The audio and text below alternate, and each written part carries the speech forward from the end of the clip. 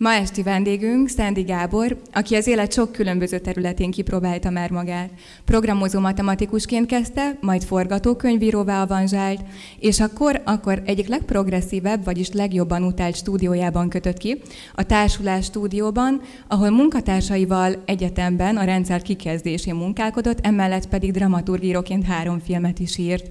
A rendszerbírálatban jeles társulást azonban a párt hamar beszüntette, emiatt Gábor megint váltani kényszerült, ezúttal könyvkötő illetve egyfajta föld alatti könyvkiadóként működve pszichológiai témájú könyvek kiadásával foglalatoskodott. 32 évesen döntött úgy, hogy nem csak kiadná, hanem művelni is a pszichológiát, így meg sem állt a klinikai pszichológusi cím megszerzéséig. Emellett kutatott, tanult hipnózist és NLP-t, vagyis neurolingvisztikai programozást. Azonban lázadó énje ismét nem bírt magával, ezúttal a pszichiátriát kritizálta, amelynek következményeképpen perbe fogták, majd kiutasította magából a közeg. Jelenleg szabadúszóként tevékenykedik, nem tagja semmilyen szakmai ö, fórumnak, szervezetnek, ö, viszont folyamatos célja az ismeretterjesztés, ezért rengeteg könyvet ír mindenféle témában. Emiatt ö, napjainkra szinte már összefonódott a neve a paleolit táplálkozás fogalmával. Sokat foglalkozott nő és férfi viszonyával is, ennek egyik eredménye a Nő felemelkedése és tündöklése című könyve, melynek most jelent meg novemberben folytatása, a nő élete mit hoz a jövő címmel, jelen előadás témáját is ez a könyv adja, vagyis tetten érhetjük-e azokat a 20. századi változásokat, amelyek átírni látszanak az ember evolúcióját, illetve hogyan változik férfi és nő, és a kettőik viszonya, Következenek hát a válaszok, fogadjátok sok szeretettel Szendi Gábort. Hát köszönöm meg, egész meghatódtam itt a milyen érdekes fickó ez a Szendi. De Szóval hát nem vagyok profi előadó, ezt előre akarom bocsájtani, tehát itt eh, mondjuk azt, hogy igyekszem majd érdekes lenni. Idefele azon gondolkodtam, hogy hogy lehet, hogy az jobb lett volna az a cím, hogy fiúk, lányok, nem fog ez így menni. Mert hogy tulajdonképpen tényleg arról van szó, hogy a, amit itt a cím kérdőjellel van udvariasságból a, a cím, de hát valójában tényleg vakvágányon van az evolúció, és ö, hát azt se tudom, hogy ez mennyire fog... Lehet itt tegeződni? Ugye lehet? Nem? Ja, lehet? Ja, jó. Jó, már így mondta Gabi, hogy 32 évesen mentem egyetemre, és gondoltam, hogy biztos azt hiszitek, hogy 70 éves vagyok, vagy valami ilyesmi. Ja, és ide be kell álljak, itt van egy csík. Hát, szóval nem vagyok még 70 éves, nem is mondom meg, hogy mennyi. Fiatal pályakezdő vagyok. Egy tanulság volt egyébként a, abból is, hogy a filmgyárból kirúgtak, meg abból is, hogy a Magatartás Tudományintézetből, mert ugyanis utána mind a kettő tönkrement. Tehát ennek szerintem üzenetértéke van, vagy az, hogy, hogy szokták mondani, hogy a patkányok elhagyják a süllyedő hajót, engem kidobtak, tehát akkor a, az értékes patkányokat eltávolítják a süllyedő hajóról. Talán ez. Na, mi ez a na nép? Ja, nekem ott is van egy monitor, azt nézhetem. Tehát ez a na nép, ez egy nagyon érdekes, ez valahol dél-kín, dél-kelet, vagy mit tudom én, dél-nyugat Kínában élnek. Nincsenek sokan, de nagyon különös módon élnek. Ugyanis nincsen házasság, úgy néz ki a dolog, a, hát a házasságra az, az a szó ö, találták ki, hogy látogatás. De egyébként most éppen olvastam egy demográfiai, mit tudom én, kiadványt, és abban szintén meglepődtem, hogy volt egy ilyen kategória látogatók, és ez arról szól, hogy ma Magyarországon kb. 300 ezer ember úgy tart egymással kapcsolatot, hogy nem élnek együtt, hanem mindenki lakik a saját odujába, és akkor így összejárnak szexelni, meg beszélgetni, meg biztos drámát elemeznek, meg hasonlókat. Tehát ilyen tartalmas kapcsolatot élnek, tulajdonképpen most tényleg nem cikkiből mondom. Most ez azért érdekes, mert ugye ez a na nép is így él. Úgy néz ki a dolog, hogy a, mondjuk a piacon találkozik egy fiú meg egy lány, és akkor a fiú nézegeti a lányt, és akkor a lány azt mondja neki, hogy talán csak nem akarsz eljönni meglátogatni, és akkor a fiú mondja, hogy de igen.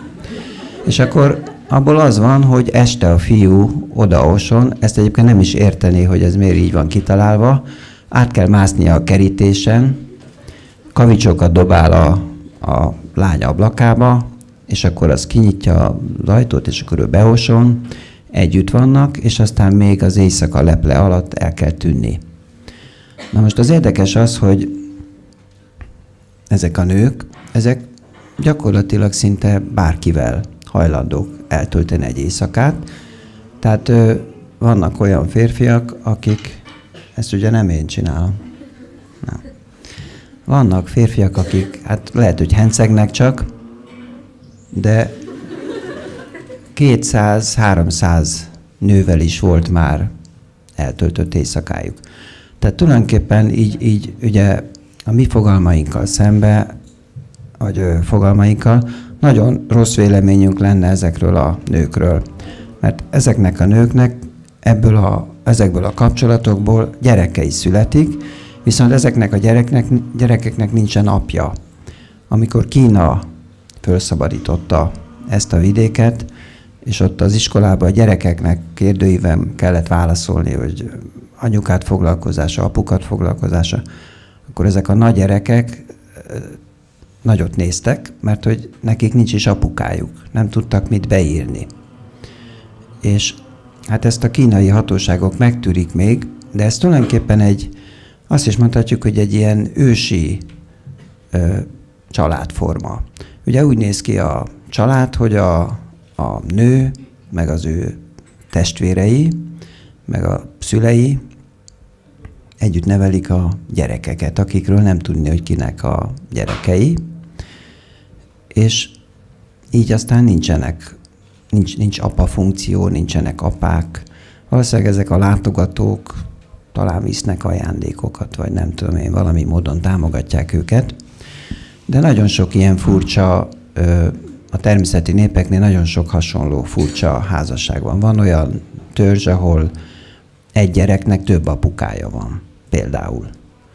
Itt nyilván az a hiedelem, tényleg ezt is hiszik, hogy hogy lehet több férfitől ugyanaz. Tehát, hogyha viszonylag rövid időn belül közösül egy nő több férfivel, akkor a több férfinek a spermája valahogy összeadódik, és abból lesz a gyerek.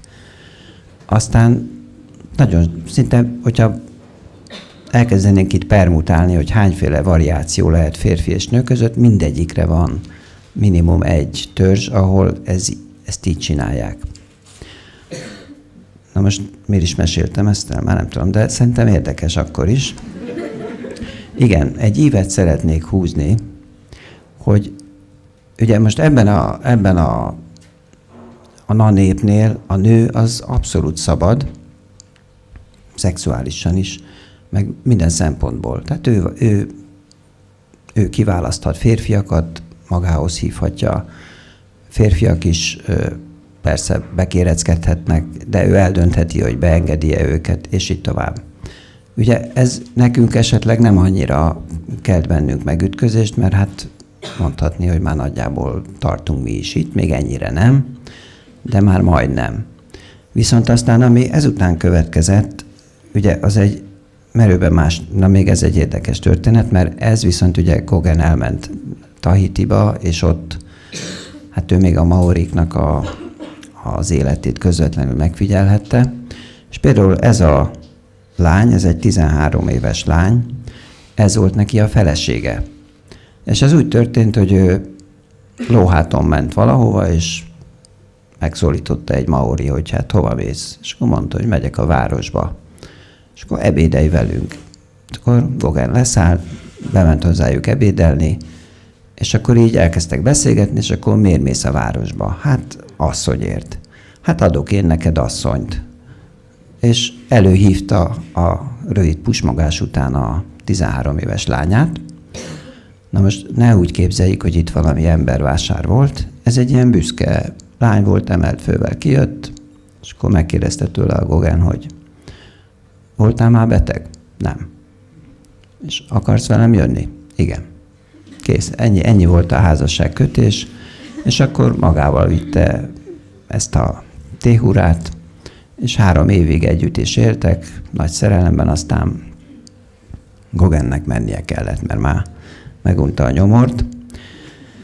De hogy ugye megint arról van szó, hogy minden forma, formalitás nélkül egy nő 13 évesen, ez fontos, erre még visszatérünk, 13 évesen már nemileg érett, már házasságra kész, és egyszerűen úgy dönt, hogy ő elmegy ezzel a európai emberrel, mert neki tetszik. Egy kicsit ugrunk, mondjuk itt Gogánhez képest visszafele, de mondjuk, hogyha most ez a természeti népekhez képest jó, jócskán előre, akkor ugye mit látunk? Itt van ez a két hülye család, akik acsarkodnak egymásra, van nekik két ártatlan gyermekük, akik nem nagyon értik, hogy mi a baja a két családnak egymással, és hát egymásba szeretnek. De hát nem lehetnek egymáséi. Ugye mit olvasunk ki ebből a nyilván nem, talán nem biztos, hogy már Shakespeare korát ábrázolta pontosan ez, de nyilván azért Shakespeare, Shakespeare korából Shakespeare a saját korából vette a, a családmodellt. Ugye arról van szó, hogy ez a bizonyos nagy család, amelyik alárendeli az egyént a családi érdekeknek, a házasságok nem úgy köttetnek, hogy én szeretlek téged, te engem, és akkor legyünk egymáséi, hanem úgy, hogy két apuka leül és megtárgyalják, hogy esetleg a lefátyolozott lány, aki még nem is ö, látható, hogy ki lesz majd a felesége a fiatal gyereknek. Ugye fiatalon nagyon gyakran megtörténik a megegyezés. Királyi családoknál még inkább úgy van, hogy már öt évesen kiházasítják a, a gyerekeket. Tehát gyakorlatilag a, a szerelem, az udvarlás, a szabadság, egyenlőség, ezek ismeretlen fogalmak. Itt lényegében a, a házasság az egyfajta érdekek kifejeződése, családok, nemzetek, vagy hát inkább ö, királyi házak között. És hát ugye azért tettem be ezt, mert a halál a vége, tehát ebben a korban a szerelemnek nincsen létjogosultsága. Ez 200 évvel később íródott, 1740-ben. Ez a, a levélregénynek egyfajta őse, egy nyomdász írta, hogy legyen mit kinyomtatni. Egyébként én csodálom ezt, hogy egy nyomdász nekiáll, és aztán írt egy olyan könyvet, amit a maga korában ilyen majdnem százezres példányban többszöri kiadásban kiadtak. Ez óriási akkor, amikor a könyv még nagyon drága volt, meg hát ezért úgy, úgy nyomtattak, ahogy nyomtattak, tudjuk kézzel szedtek, meg egyebek, meg így laponként préselték. Ez a történet arról szól, hogy egy ifjú szolgáló lány szolgál egy az asszonyát, és az asszonya meghal, és a fia, Mr. B. szemet vett Pamélára, és elkezd, elkezd udvarolni neki, körülzsongja, ajánlatokat tesz, elbújik a szekrényébe, meg akarja erőszakolni, de Paméla mindig ellenáll. És a, azért levélregény, mert a Paméla mindig leveleket ír a szüleinek, hogy drága jó szüleim, ez meg ez történt, mit tanácsoltok, és akkor szülők, hát nem tudjuk az ő leveleiket, de nyilván azt írják, hogy kislányom, az erény a legfontosabb, állj ellent, és Paméla ellenáll. Mr. B. elrabolja őt, egy falusi vagy vidéki házába ö, viszi, gondolván, hogy majd ott, ott aztán már végképp megtöri a lányt, de a lány mindennek ellenáll, de közben titokban ő is megszereti Mr. B-t, és akkor így lassan közelednek egymáshoz, és végül mégis csak egymásai lesznek. Van némi bonyodalom, persze a rokonság nem ért egyet. Na most mi ennek az üzenet ennek a regénynek? Ez egyébként annyira népszerű volt, hogy fölolvasták. Tehát ilyen este nem tábortűznél, de mondjuk ott a konyhába ültek az emberek, és akkor aki olvasni tudott, az így ezeket a leveleket hosszú időn át olvasgatta estéről estére azért volt nagyon népszerű, mert valami olyat fejezett ki, és ezt azért érdemes kihangsúlyozni, mert valami váltás kezdődött. Ugye az egyik az, ami nagyon fontos, hogy ezt a lányt nem a családja házasítja ki. Ez a lány valahol szolgál, ugye picit fölismerhetjük benne ezt a hollywoodi sztorit, hogy a vezérigazgató elveszi a titkárnőt. Az is ugyanarról szól, mint ez a történet, hogy az osztálykülönbségek már nem olyan fontosak. Tehát ez kicsit korábban csak a népmesébe van, hogy a királyfi elindul, és aztán elveszi a szegény szolgálólányt. Ilyen a mesébe volt, de a valóságban nem volt. Na most itt az történik, hogy egy ilyen egyszerű szolgáló lány végül is a felesége lehet, és úgy, hogy ő önként beleegyezik, tehát nem megvásárolják, nem megerőszakolják, nem szeretővé teszik. Ugye azért is az alcím az, hogy az erény jutalma. Tehát itt, itt megjelenik a, a szabad döntés csirája, ez a felszabadult nő, aki rendelkezik a teste, testével, a szerelem szempont a házasságnál, ez ugye merőben más, már csak a 200 évvel korábbi drámához képest is. Persze a fejlődés az hosszú. Következőt én a Ibsen Nóráját gondoltam példának. Ennek a története azért is érdekes, mert például, tehát ez akkora, hát biztos ismerik, vagy ismeritek, ugye az a lényeg, hogy a a férj meg, ez csak már elmondásból tudjuk, hogy régebben ez megtörtént, hogy a férj megbetegedett, Nóra aláírt egy váltót az apja nevében. Ez fontos, ugye megint arról szól, hogy a nőnek még ahhoz sincsen joga, tehát gazdaságilag nem független, nem tud egy váltót se aláírni. És az apja éppen halálos beteg, és az ő nevében hamisítja alá, és ez ebben a korban súlyos bűnnek számít. De mindezt azért teszi, hogy a férjével el tudjanak menni, mit tudom én, a tenger mellé, hogy a férje meggyógyuljon. Tehát tulajdonképpen egy önzetlen cselekedet.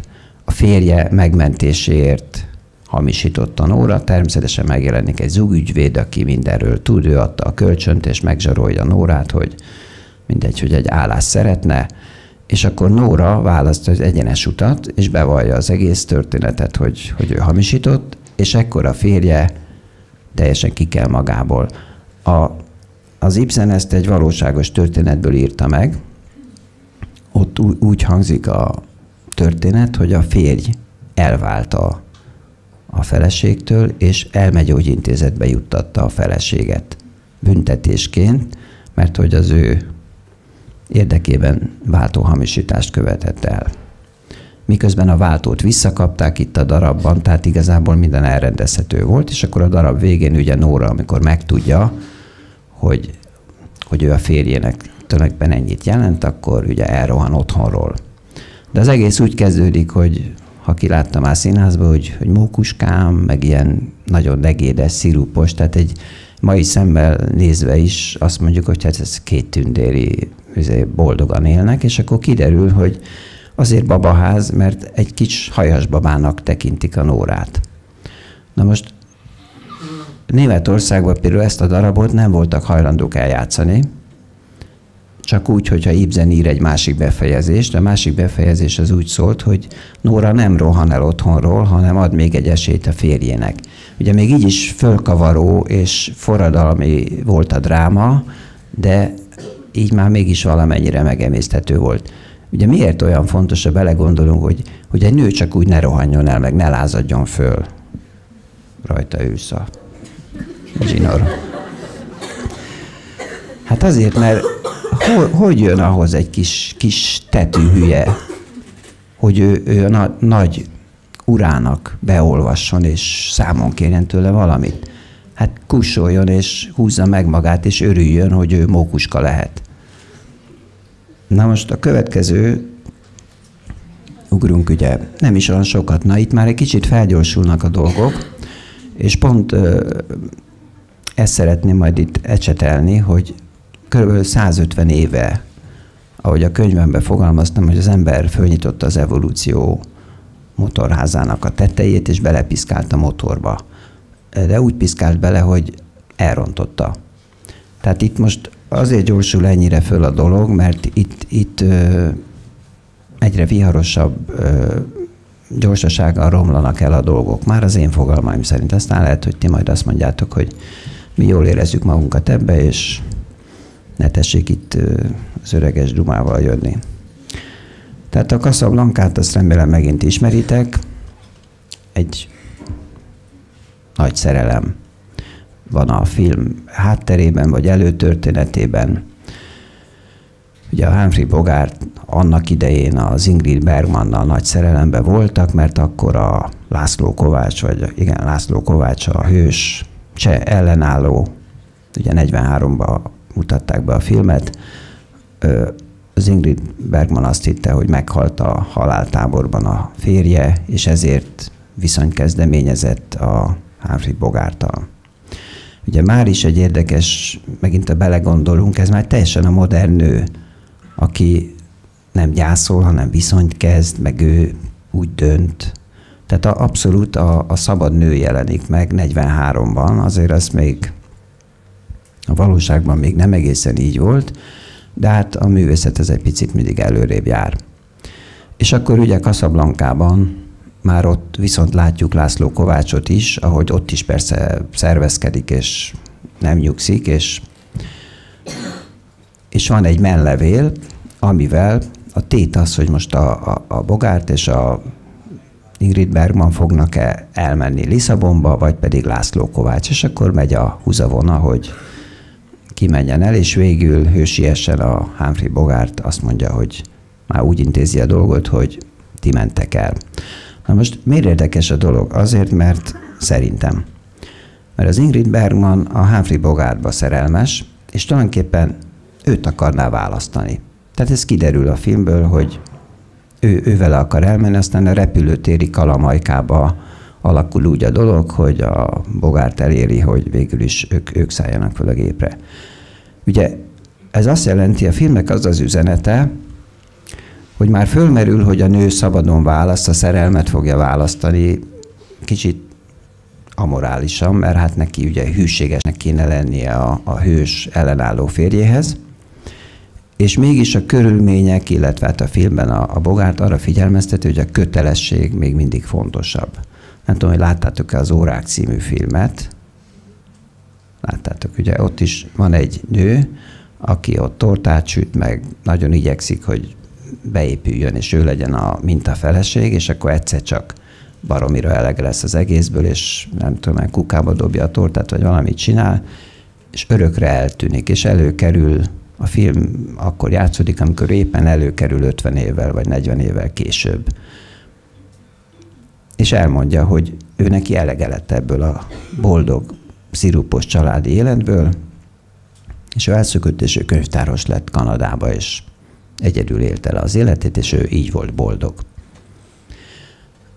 Ugye ez megint arról szól, és ez a 40-es években, vagy a 50-es években Amerikában játszódik, a, mármint az a, az a része, amikor föllázad a, ez a hölgy. A Lolita megint egy nagyon előremutató film vagy könyv, hát ez itt éppen film. Ugye ez 60, vagy mikor is? Fú, egy egész fejezetet írtam erről, de most elbizonytalanodtam, hogy mikor jelent meg. Szerintem 50, 53, 55 körül mondjuk. Ugye röviden összefoglalva egy férfi, egy meglett férfi, egy 40 év körüli férfi beleszeret egy 12 éves lányba, és amikor annak az anyja meghal, akkor ő egy vagy két évig bolyong vele Amerikában, és hát heves nemi életet élnek. Na most gondoljatok bele, hogy az 50-es években egy ilyen könyv, amikor ez megjelent, hát ezt Franciaországba, Angliába betiltották. Amerikában is évekig nem lehetett kiadni, és azzal vádolták, hogy ez tulajdonképpen a pedofiliát reklámoz. Ráadásul úgy, úgy van megírva a könyv, meg a film is úgy van ábrázolva, hogy baromi szimpatikus lesz nekünk ez a egyébként nem pedofil, hanem hebefil, tehát ez egy más kategória, tehát a pedofil az a nemileg nem érett gyerek iránt érez nemi vonzalmat, a hebefil az pedig már a nemileg érethez. És hát, hogyha olvastátok vagy láttátok a filmet, akkor tudjátok, hogy bár ez a gonosz késóvár férfi ö, hajt rá a lányra, de végül is az első ö, közeledést a lány követi el, amikor a szállodában fölébredve kielégíti a férfit. 12 éves. Tehát ez egy olyan hajmeresztő történet volt, szerintem még ma is. Ha ma jelenne meg, akkor ugyanez, ugyanez lenne, csak most már klasszikus, és akkor most már nem lehet ellene egyházilag tiltakozni, meg felvonulni. De a történet azért jövőbe látó, mert majd mindjárt látni fogjuk, hogy ez, ez a jelen. És nem rossz értelemben, nem azért, mert hogy most már itt mindenki pedofil, meg hebefil, meg efebofil, meg nem tudom én. Ugye ez a pszichiátria szereti ilyen, ilyen. Ja, tíz és fél éves? Ja, nem, az még pedofil. Ja, tizenegy, az más. Tehát ezek a kategóriák, ezek nagyon szellemesek. És elérkezünk a, a tényleg a mába, ezt már gondolom mindenki látta. Ugye ez tulajdonképpen egy, egy nagyon, nagyon jó körkép. Ezek a hollywoodiak, ezek tudnak valamit. Tehát én szerintem evolúciós pszichológusoktól kezdve mindenkit beszoktak vonni, és, és egy komoly stáb áll a mögött, hogy egy ilyen kis könnyed vígjátékot csinálnak. És miközben mi jókat mulatunk rajta, ekközben valójában ez tényleg, hogyha ezt így átírnák egy tanulmánynak, akkor hát tulajdonképpen meg is jelent ilyen barátság extrákkal, ilyen című tanulmány meg is jelent. Lehet, hogy ők onnan vették a címet. És ezzel párhuzamosan megjelent egy másik is, aminek a munka címe az volt, hogy barátság extrákkal, és akkor volt is egy ilyen vita, hogy nehogy már két film ugyanazzal a címmel jelenjen meg, és akkor annak az lett a címe, hogy csak szexre kell lesz. Vagy hát angolul most nem jut eszembe, hogy hogy van a címe. Ugye például ebben a filmben a lánynak a mamája az egy olyan nő, akinek számtalan szeretője volt, végül férje nem lett, nem tudjuk, hogy ennek a lánynak ki az apja, és ez a nő még ilyen 40 vagy 50 évesen is még mindig azon jár az esze, hogy pasizzon, és éppen megy el valami új udvarlójával a tengerpartra. A srácnak a papája egyedül él, kisé már Alzheimer kóros, a srácnak a testvére egyedül neveli a gyerekét, tehát egy ilyen totális körképet kapunk a házasságról, mint egy, azt mondja a film, hogy házasodni akarsz? Na, tessék, csak nyugodtan, ez lesz a vége. Kell ez neked?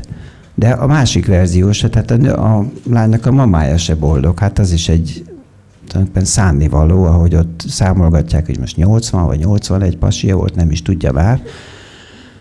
És akkor ugye most még nem beszéltünk a két fiatal kapcsolatáról. Miről szól ez? Megint ugye látjuk a független, gazdasági értelemben is független nő, aki egyáltalán nem szorul arra rá, hogy ő most akkor fogjon magának egy férjet, mert különben nem fog tudni megélni. Már tudjuk, hogy ő képzett, tehát már járt iskolába is. Abszolút szabad, független, ő dönti el, hogy kivel akar kapcsolatra lépni. Van ez a pasi, ugyanez elmondható róla, mondjuk a férfiak általában gazdaságilag függetlenek voltak a történelem során. És ami érdekes, hogy tulajdonképpen ők megegyeznek abban, hogy hát nem kell ahhoz szerelmesnek lenni, hogy szexeljünk. Tehát lényegében már a, az érzelmi részét ki akarják iktatni a kapcsolatból. Most a film persze igyekszik még optimista lenni, és azt úgy, úgy, úgy ér ugye véget, hogy hogy nem, nem, hát akár, hogy erőlködünk, ez nem megy szerelem nélkül. Mi már tulajdonképpen sütyiba egymásba szerettünk, csak még küzdöttünk ellene, de akkor a film legvégén mind a ketten egymás nyakába borulnak, hogy hiába erőlködünk, nem, nem megy ez, hogy mi csak barátok vagyunk. De itt lényegében, ha a real, ha, ha, ugye én azt szoktam mondani, hogy egy filmnek mindig ott van vége, ahol elvágják. És nem tudjuk, hogy utána mi lesz néha csinálnak második részt, de ennek a második része valószínűleg úgy szólna, hogy végül ezek majd elválnak. Ha egyáltalán összeházasodnak, akkor majd elválnak. Ö, pessimista? Nagyon? Hát én szóltam előre. Tehát tartottunk 5 perc szünetet, és aki, aki nem azt akarja látni, hogy hova haladunk, akkor az elmehet, vagy hozunk homokot, és akkor bele lehet dugni a buksit.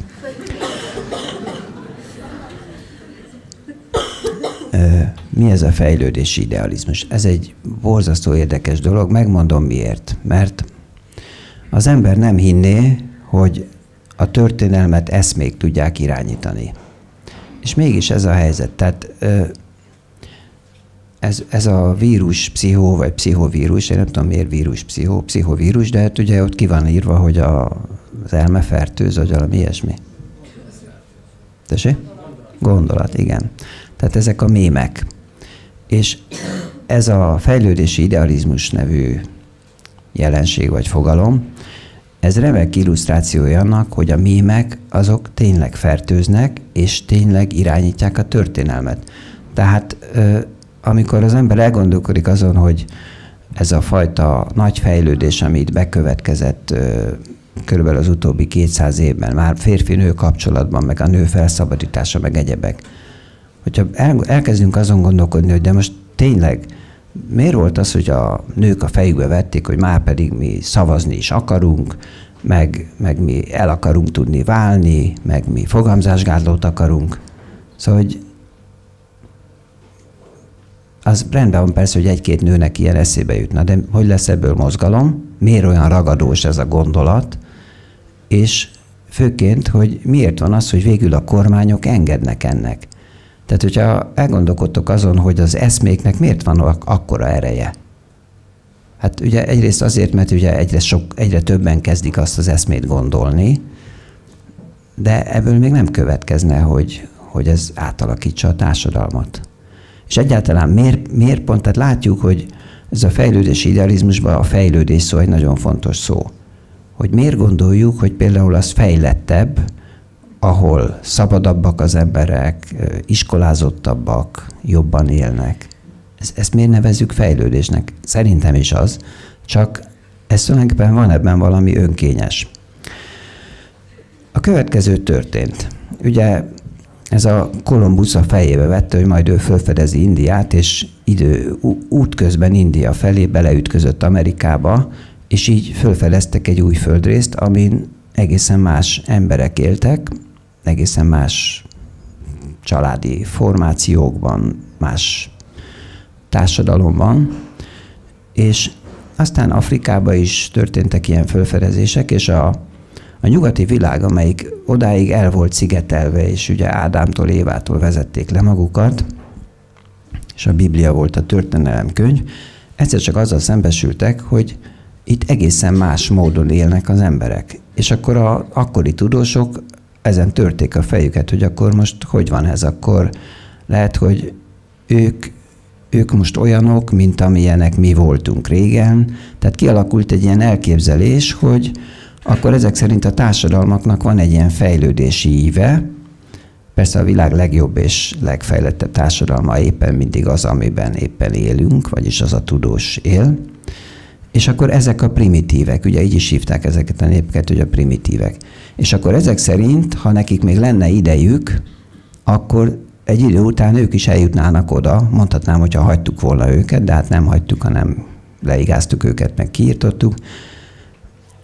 De minden esetre ők tulajdonképpen egy korábbi stádium.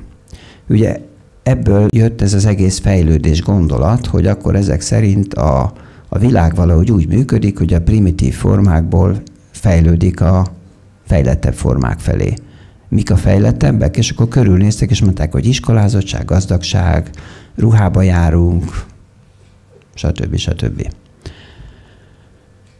És ez a fejlődés paradigma alakult ennek hatására ki, ami áthatotta az egészet, tehát a természettudományokban is mindenben később az evolúciós gondolat is innen jött, hogy hát ez vala, a majomból lett az ember, tehát valami primitívből fejlődtünk ki.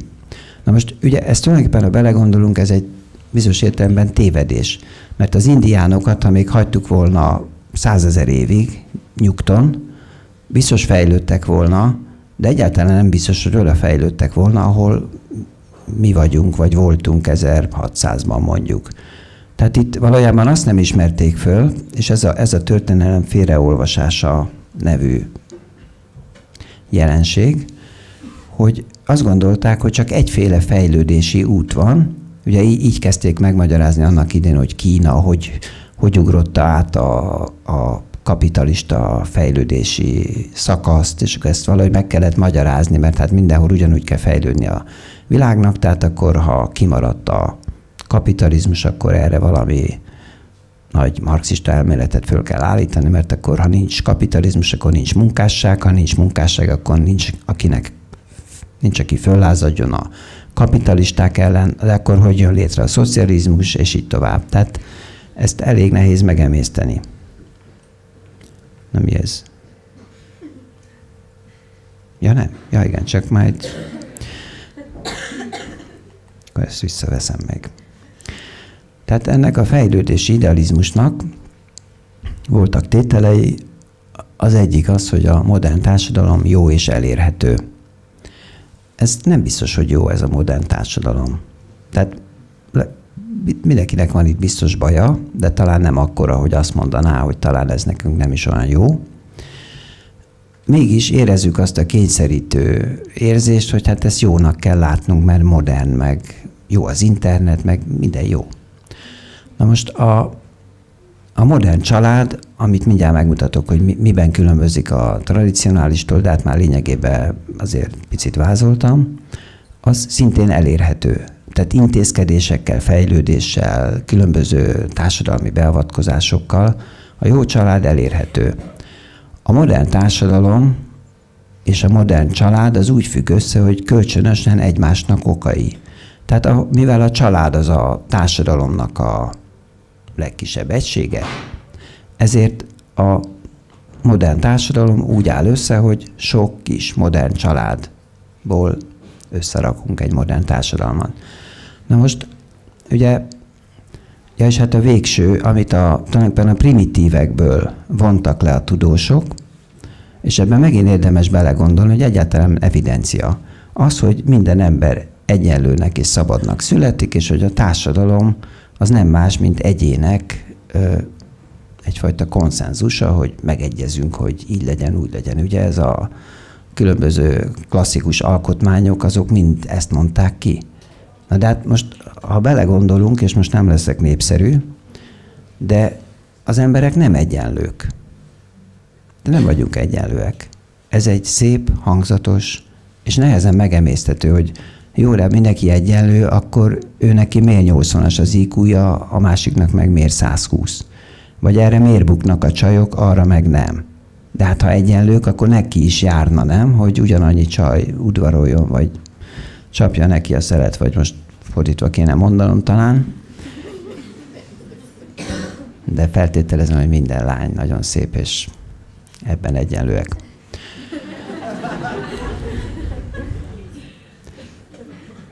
Na most, ugye az történt, hogy miután ezt így kézenfekvőnek vették ugye természeti jog alapján, hogy hát mindenki egyenlő és mindenki szabad, akkor az olyan társadalom, amiben ez nem érvényesül, az nem jó társadalom, tehát akkor arra kell törekednünk, hogy ez megvalósuljon. Biztos ismertek egy-két ilyen utópiát, az ugye azt jelenti, hogy ott még nem csak megírták, hanem volt, aki csinált egy saját pénzből egy ilyen utopisztikus társadalmat, és ott megpróbálta bevezetni ezt.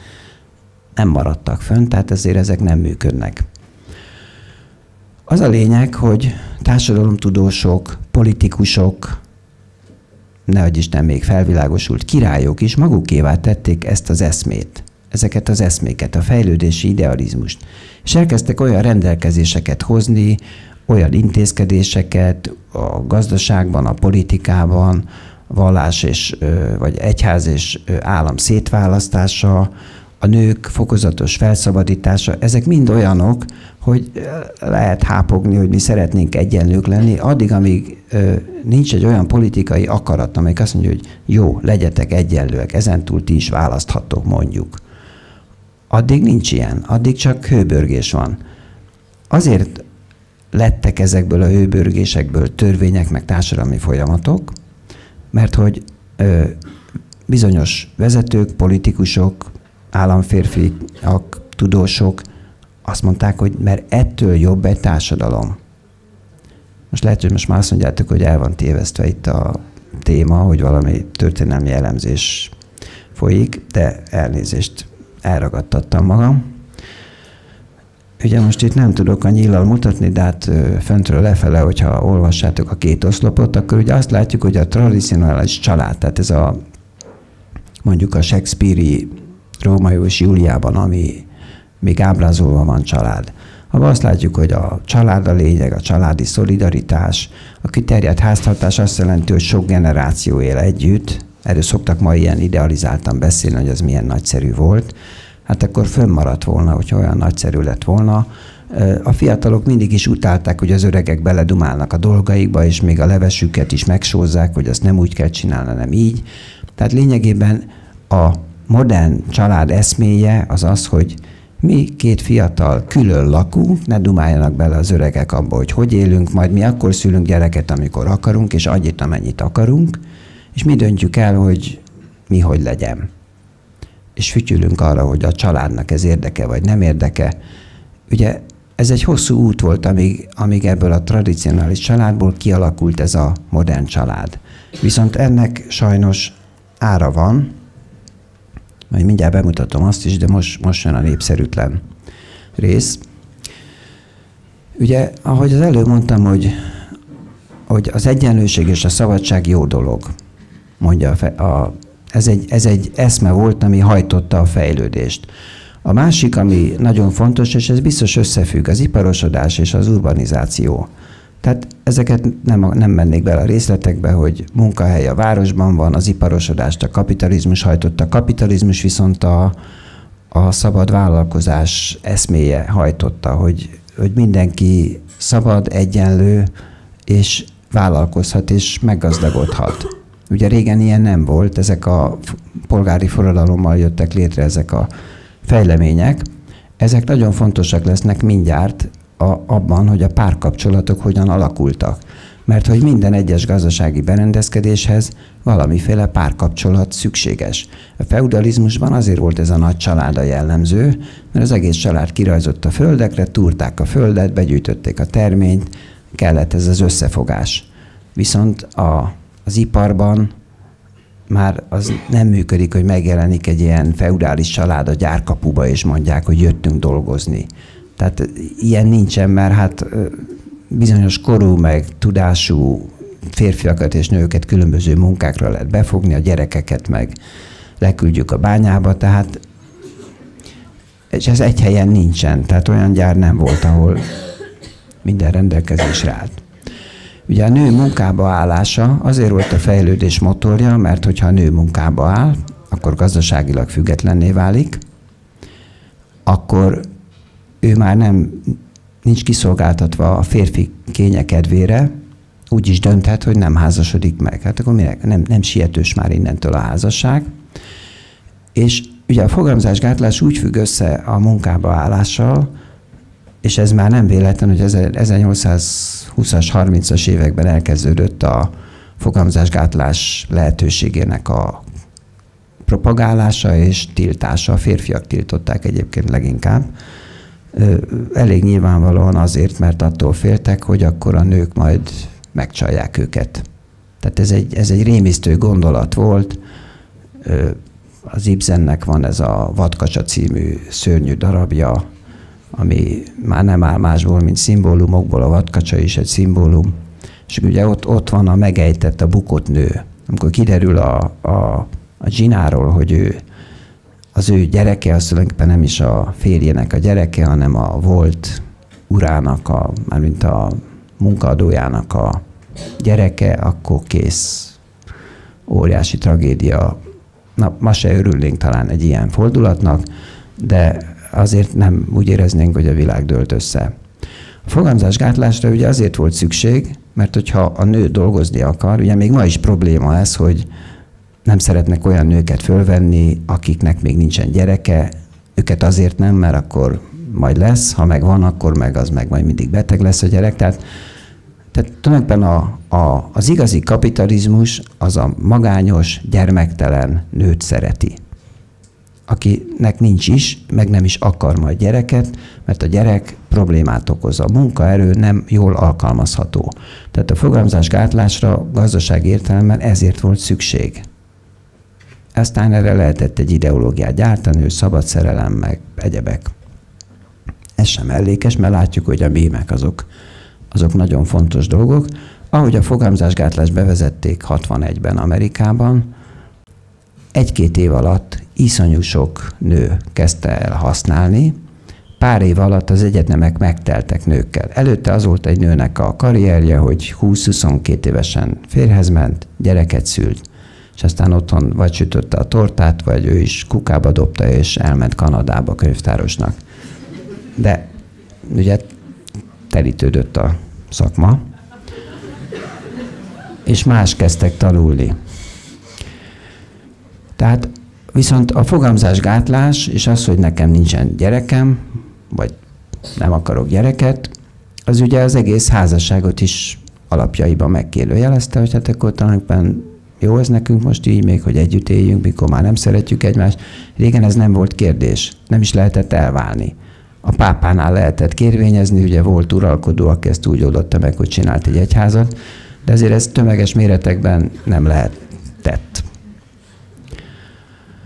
Na most mi a fejlődés ára? Az egyik a korai nem érés. Majd mindjárt mutatok nagyon jó grafikonokat. Én imádom a grafikonokat, mert azok többet mondanak el, mint én. Ugye mit láttunk a Lolitába? Hogy a Lolitában 12 évesen már nemileg érett a Lolita, és olyannyira nemileg érett, hogy szemet vett a mostoha papára, és aktívan fellép vele szemben. Honnan jön ez a korai nemi érés? Hát ezt ha az e, utóbbi 150 évet nézzük, és akkor most azt hiszitek, hogy ilyen trükkösen hozom be a paleoli táplálkozást, de tényleg arról lesz szó érintőlegesen. Ugyanis az 1870-es évektől drasztikusan megváltozott a nyugati ember táplálkozása, egyre több, olcsó lett a cukor, olcsó lett a finomított gabona, és a 20. század során egyre inkább az étrendben egyre nagyobb szerepet töltött be cukor, fruktóz, gabonafélék. Tehát ma a hivatalos ajánlás, amit azért meg szoktak haladni az emberek, és többet esznek, mint amit ajánlanak, az azt mondja, hogy az étrend 60%-a gabonafélékből kell álljon. Na most mi ennek a következménye? Az, hogy a nagy kalóriájú táplálkozás hatására ö, vissza, tehát korábbra kerül a nemi érés. Erről majd mindjárt mutatok grafikont, úgyhogy nem lövöm le, hát mondjuk ezt most előzetesnek szántam. Lecsökken a termékenység. Miért csökken le? Hát, hogyha én döntöm el, hogy akarok egy gyereket, akkor azt mondom, hogy hát ma még nem akarok, aztán holnap is úgy döntök, hogy nem akarok, megint közben jön valami, addig-addig nem akarok, míg a végén esetleg nem is lesz. Majd mutatok elrébisztő grafikonokat. A nő devalválódik. Én ezt az egyik legsúlyosabb dolognak tartom. Mit értek én ez alatt, hogy a nő devalválódik? Azt jelenti, hogy ugye korábban úgy nézett ki a menetrend, hogy férfi nemileg megérik, elkezd vágyódni a szexre. De a nő azt mondja, hogy nincs szex, e házasság előtt szó nem lehet róla. Tessék engem elvenni. Mit tehet a férfi? Elveszi a nőt, onnantól van vad szex, de onnantól viszont zsinórba jönnek a gyerekek. Ugye a régi nők azok néha 20 gyereket is szültek, de tizet minimum. Jó, a fele meghalt, de hát ez valahogy be volt kalkulálva a népesedésbe.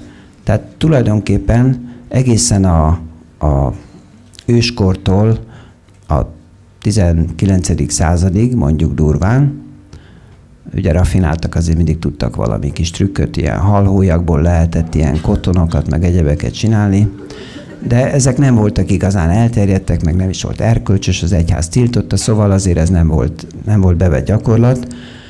De minden esetre mondhatni azt, hogy szexhez igazából tömeges méretekben nem lehetett másképp jutni, csak házasság révén, a házasságból viszont törvényszerűen jöttek a gyerekek. Na most onnantól, hogy a nő azt mondja, hogy figyúz, én úgyse tudok teherbe mert nem akarok teherbe készen állok a szexre, mert szerintem az élvezet, és mi egyenlőek vagyunk, és én megkívántalak téged, és ha akarod, akkor feküdjünk le.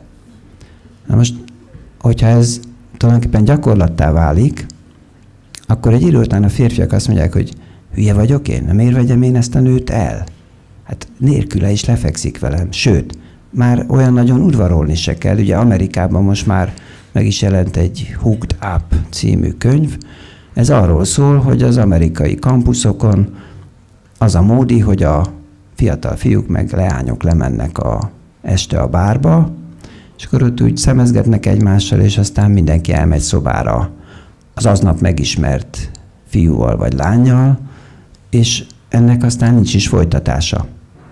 Tehát másnap mással akar az a fiú lefeküdni, mert hát most azért gondoljunk bele, van ebbe valami felfedezés izgalma, hogy nem az van, mint régen, hogy életem első nője egyben az utolsó, hanem minden este egy másik, de mondhatnám a nők szemével is ugyanezt, hogy mindig egy másik pasit megismerni, erre rá lehet kattanni, és ez gyakorlattá tud válni. Viszont ez annak, ez, ebből az következik, és azért ebben a könyvben is azt leírják, leírja a szerző, hogy a nők ennek ellenére mindig abban a reményben mennek szobára, hogy ebből lesz végre egy tartós kapcsolatuk. De nem lesz.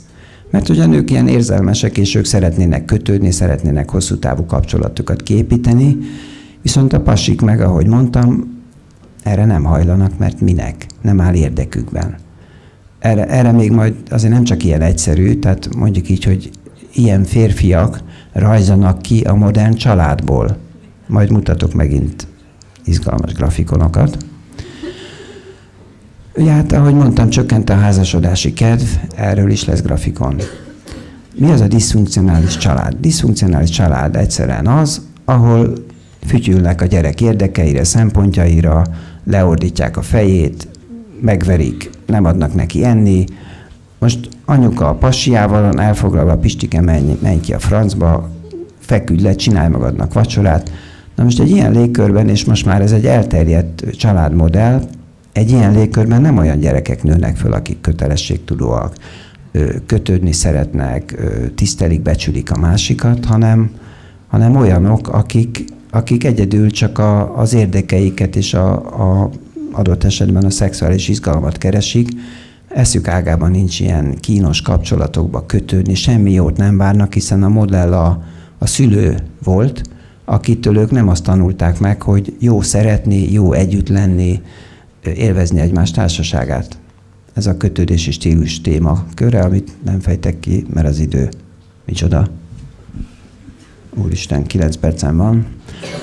Tehát növekvő magány, maszkulinizáció és feminizáció, ez arról szól, hogy a környezetünkben rengeteg olyan anyag került, amitől ilyen ösztrogénszerű anyagok, amitől a férfiak femininebbek lesznek, a nők pedig maszkulinabbak. Ez hosszú lenne elmagyarázni, hogy miért ilyen ellentétesen hat, de ugyanaz a dolog ellentétesen hat. Szexuális szelekció megszűnik. Mi a szexuális szelekció? Hát az az, hogy én ügyesebb pasi vagyok, gazdagabb pasi vagyok, magasabb vagyok, macsóbb vagyok, és én sikeresebben szaporodok. A másik meg nem, mert az meg olyan kis béna, púpos, hülye, nincs pénze, énekelni se tud.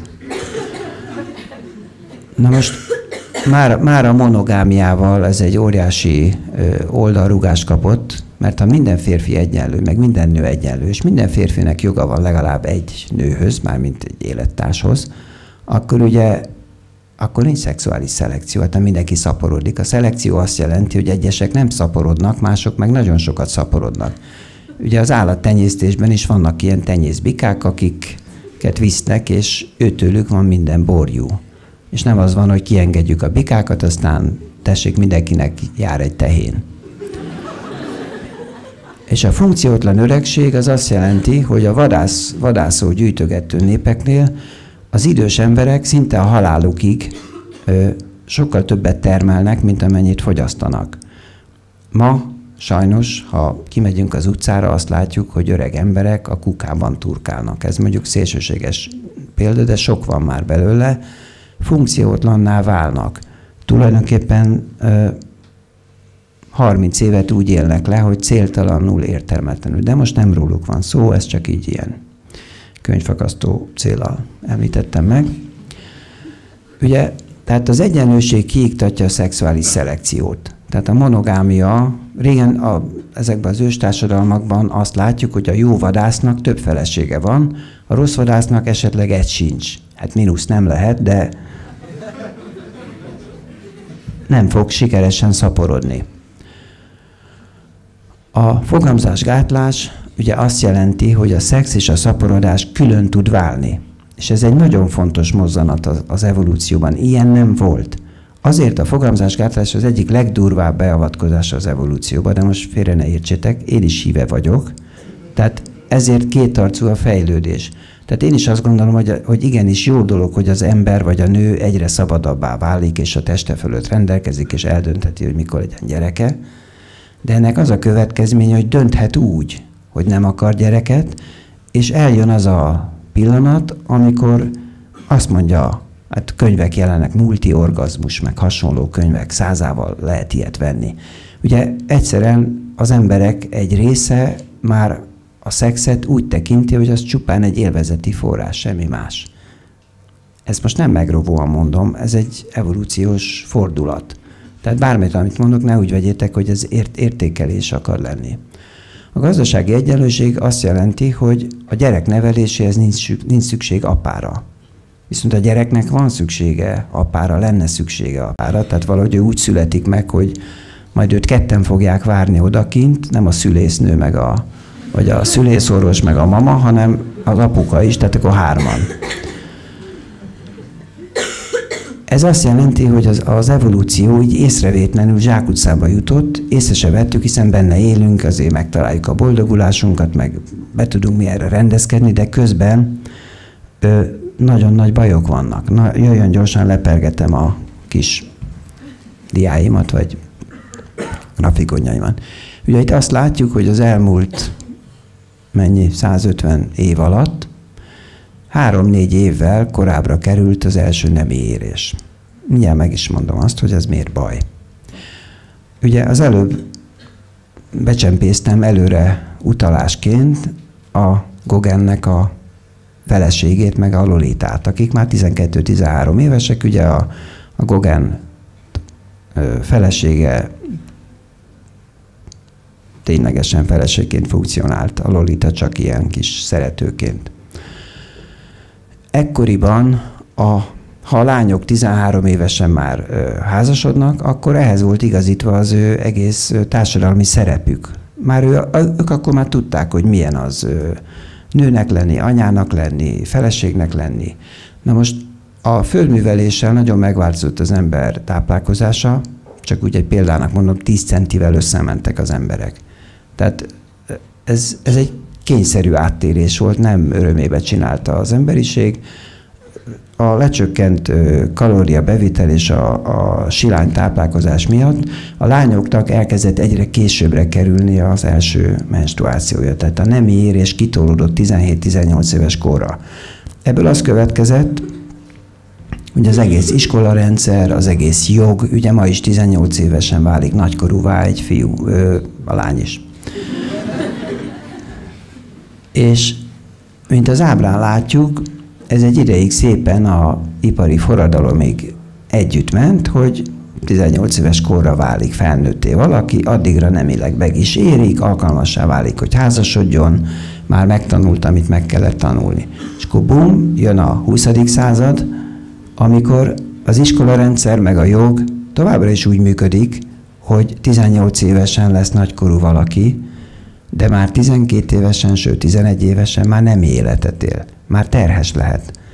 És ez egy óriási problémát kezd okozni.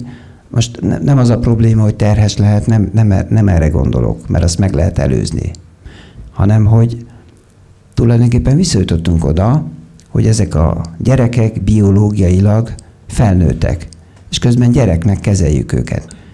Ugye tehát, hogy előáll az a helyzet, hogy egy gimnazista ugyan még a papa vagy a mama csomagolja neki az uzsonnát, de ő közben meg már érett nő, aki nem életet él. Ez egy, ez egy olyan ellentmondás és egy olyan nagy probléma, amit nem tudunk kezelni. De ezt most nem is fogjuk tudni kezelni, mert van még két percem.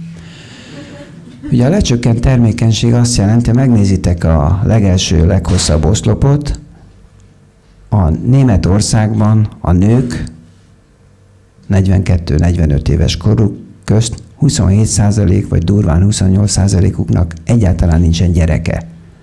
Nem akartak, nem jött össze. A végeredmény ugyanaz, hogy a nők 28%-a gyermektelen. Itt látjuk az amerikai statisztikát, itt még azt is külön választották, hogy a tudatosan gyermeket nem, akar, nem vállalni akarók, és a úgy alakult kategória, ugye egyre szélesedik ott az a világos szürke, azt mutatja, hogy egyre többen nem akarnak gyereket, és most már könyveket lehet megvenni, ilyen child free, meg too easy enough, vagy are enough, és így tovább. Tehát, hogy ezek az emberek kijelentik, hogy mi élvezni akarjuk az életet. Na most semmi rosszat nem lehet erre mondani, mert hát joguk van hozzá, szabadok vagyunk, egyenlőek vagyunk, viszont ez oda vezet, hogy ez a viszintes vonal azt jelenti, hogy körülbelül olyan 2,1 gyereknek kéne lennie családonként ahhoz, hogy reprodukálja magát a társadalom. Nem növekedni, nem azért, hogy növekedjen, csak hogy, csak hogy megismételje önmagát, a létszámot. Viszont mivel az emberek egyre tovább élnek, igazából már ez sem elég. Ugye ez oda vezet, hogy előrekszik a társadalom, nekünk már nem biztos, hogy lesz, már nekem se, nektek aztán lehet, hogy egyáltalán nem lesz már ilyen nyugdíj ez a szó, ezt ti még fogjátok tudni mondani, és mesélitek majd a gyerekeiteknek, hogy volt egy ilyen, hogy nyugdíj, de már ők már nem értik majd, hogy mi ez a szó, mert nem lesz ilyen. Most nem viccelek. Miért nem akarnak a, az emberek gyerekeket? Hát azért, mert azt látjuk, hogy amikor az, e, a gyerek megszületik, akkor négy-öt évre mind a férfinek, mind a nőnek teljesen lecsökken a boldogság szintje, jó, még, még ugye kapok egy kis időt, jó, egy pár percet. Mondjuk, hogy most megkérdeztétek, hogy és mi van még hátra, mert a kérdések ideje jött el. És akkor azt mondom, hogy ó, hát egy nagyon érdekes diát tudnék bemutatni. Azt látjuk, hogy a gonosz férfiaknak a folytonos vonal, a boldogság szintje egy idő után szépen nő. Körülbelül valószínűleg ekkor kezdenek el szeretőt tartani, vagy vagy rájönnek, hogy ők nem akarnak a gyerekkel foglalkozni. A nőnek viszont a boldogság szintje folyamatosan csökken, mert egyre több gond van a gyerekkel, ő neki kell a gyerekkel foglalkozni, meg még mellette dolgozni. Tehát Na most, aki ezt bölcsen előre látja, az azt mondja, hogy köszi, ebből nem kérek. A nő devalva, devalválódása. Nem akarja senki elvenni már a nőket. Most ez egy magyar statisztika, most ott tartunk, hogy a nők 56%-a soha életében nem fog megházasodni. Mondhatnátok, hogy jó, hát van más együttélési forma is. A piros azt mutatja, tehát a kék mutatja, hogy hogyan csökken a házasságok száma, a piros azt mutatja, hogy hogyan nő az együttélések száma. Miért olyan gond az együttélés? Hát ez ugye szabad emberek, szabad választása. A gond az, hogy az együttélésben kevesebb gyerek születik, a gyerekek és az, a nők nem érzik magukat biztonságban, sőt, hogyha megnézzük, ez egy amerikai statisztika, azt látjuk, hogy a szegénységben és hát mostól a körülmények közt felnövő gyerekek, azok sokkal gyak, háromszor gyakrabban vannak az együttélők együttélők gyerekei, tehát az együttélési formában. A gyerekek sokkal nagyobb hátrányt szenvednek el. Most nem akartam egy másik grafikot betenni, ami azt mutatja meg, hogy a, a házasságban élőknek a vagyoni helyzete, keresete sokkal több. Ezt úgy is hívják egyébként, hogy házassági prémium. A házasságban élő férfiak nem tudják, hogy miért, de 20%-kal többet keresnek. Valószínűleg mert szorgalmasabbak, elkötelezettebbek, a családért több túlórát. Na mi ez? Ja, azt hittem már, hogy így akarják értésemre adni. Hogy... Nézzük meg, hogy a házasságon kívül született gyerek, gyerekek száma rohamosan nő. Hát azért most nem kell elmagyarázni, hogy aki nem egy egészséges, boldog családba születik, hanem ma már ez a törvénytelen gyerek fogalom nem annyira megszokott, de hát mégis arról van szó, hogy nincs neki apukája, vagy neki több apukája van, felváltva, minden évben más az apukája, aki nem fogja őt annyira szeretni, meg nem akar vele focizni, meg nem fog neki barkácsolni. Tehát egyre nő azoknak a gyerekeknek a száma, akik olyan családban nőnek föl, ahol ők boldogtalanok, ahol ők nem azt látják, hogy jó dolog kapcsolatban élni, nehogy Isten házasságot kötni. Ugye itt megint azt látjuk, hogy a, nem tudom, hogy látjátok-e, én otthon még láttam, hogy egy, meg kettő, meg három gyerekkel, például az elváltaknak kb. a 30%-ánál egy gyerek van, másik 30%-ánál két gyerek van. Tehát két gyerekkel is elválnak, meg hárommal is emberek. Ez azt jelenti, hogy az asszony nyakába szakad két gyerek, akik, akiknek trauma elveszíteni az apukát, fogadjunk, hogy köztetek vannak ilyenek. Ez egy nagy trauma egy gyereknek. És ezek a gyerekek később nem akarnak megint csak házasodni. Na ezt most ö, inkább összefoglalnám egy mondatba, mert ezt előbb is mondtam. A diszfunkcionális család az azt jelenti, hogy a gyerekek azt látják, hogy nem jó kötődni, nem, engem nem szeretnek, nincs önértékelésem, a fiúk agresszívek lesznek, vagy ilyen kis pszichopaták, a lányok pedig ilyen váltogatott kapcsolatokba mennek bele, és itt látjuk a gyökerét, tehát egyre több a diszfunkcionális család, az azt jelenti, hogy elváltak, hogy csak együtt élnek, hogy a papa alkoholista, ugye Magyarországon egy millió alkoholista van. Tehát a diszfunkcionális család olyan embereket bocsájt ki, akik később nem akarnak kötődni. A család szerkezet és a nemi érés nagyon szorosan összefügg, itt is most inkább, hogy ne bogaráztátok annyit a ábrát. Az a lényeg, hogy az apa hiánya, például ez jobban látszik, az apa hiánya rendkívüli módon előre hozza nemi érést. Tehát nem csak a táplálkozás megváltozása, hanem az apa hiánya, ez egy evolúciós program. Mindennyiunkban benne vannak ezek a programok. Ha bizonytalan a jövő, ha nem lehet tudni, hogy meddig fogunk élni, ha nem biztonságos a fölnövekedés és az élet, akkor gyorsan kell szaporodni, mert ki tudja, hogy meddig, meddig fog ez még menni. És ezért, ezért a lányok sokkal korábban érnek nemileg, és sokkal több a tinédzser terhesség. Tehát ez nem a szülők nem odafigyeléséből fakad, ez egy evolúciós program. Az iparosodás nemi hatására ez egy példa, a férfiak ö, ö, sperma szintje felére, harmadára csökkent a 20. század során. A nők egyre maszkulinabbak, ez egy ilyen kiszámoltak egy mutatót, és a Playboynak 50 év folyamát végig nyálazták, és lemérték a csípőderék arányt, meg a melméretet, meg egyéb ilyen mutatókat, és ebből az jött ki, hogy a nőknek egyre kisebb a melle, egyre keskenyebb a csípője, és ez a, most itt a könyvemre utalnék, amit érdemes esetleg elolvasni, sokkal érdekesebb lesz és alaposabb a nőnek a személyisége is megváltozik. Tehát, hogyha maszkulinizálódik egy nő, akkor az agya is maszkulinabb. Ugye egyre több fizikus, egyre több matematikus van, egyre több ö, olyan pályára építész, a magyar, magyar ö, építész, a pesti építész karon a nők több mint 50%-a, na, fú, tehát az építész karon járó hallgatóknak több mint 50%-a nő. Na most ilyen régen nem volt, nem azért, mert nem vettük őket föl, hanem azért, mert az agyuk nem tudott úgy működni a nőknek, hogy ilyen téri vizuális dolgokat jól tudjanak megoldani. Ugye itt azt látjuk, hogy, vagy nem tudom, hogy ti látjátok-e, minél maszkulinabb egy nő, ez az új arányokból ki lehet következtetni, mindenki megnézheti az, az új arányát, hogyha a gyűrűs ujja a jobb kezén hosszabb, és lány, akkor ő maszkulina típusba tartozik, mert hogy a fiúknak kell a, a gyűrűsúlyának hosszabbnak lennie. De erre majd még a kérdéseknél visszatérünk. Jön az összefoglaló. Nem is léptem túl az időt. Most mit nevettek? Jó, tudom, csak viccelek.